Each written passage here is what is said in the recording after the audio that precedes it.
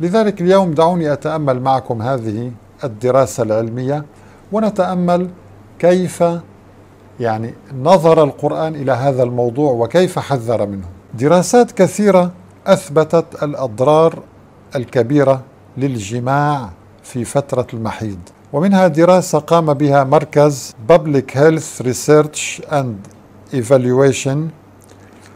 هذا المركز في الولايات المتحدة الأمريكية.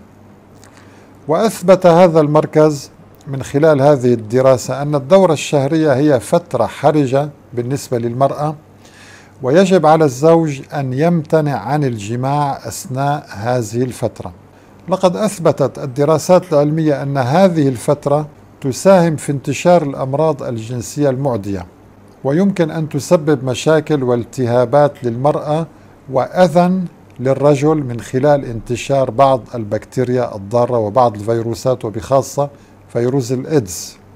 وأثبتت دراسة ثانية أن الجماع أثناء الدورة الشهرية له أضرار كثيرة منها التسبب بالعقم لدى النساء. إذا هذا ما يقوله العلم. ماذا يقول القرآن؟ قال الله تبارك وتعالى ويسألونك عن المحيض قل هو أذى فاعتزلوا النساء في المحيض ولا تقربوهن حتى يطهرن. فإذا تطهرن فأتوهن من حيث أمركم الله. إن الله يحب التوابين ويحب المتطهرين. والله إن هذه الآية لتشهد على صدق رسالة الإسلام وصدق هذا الكتاب العظيم وصدق نبينا عليه الصلاة والسلام.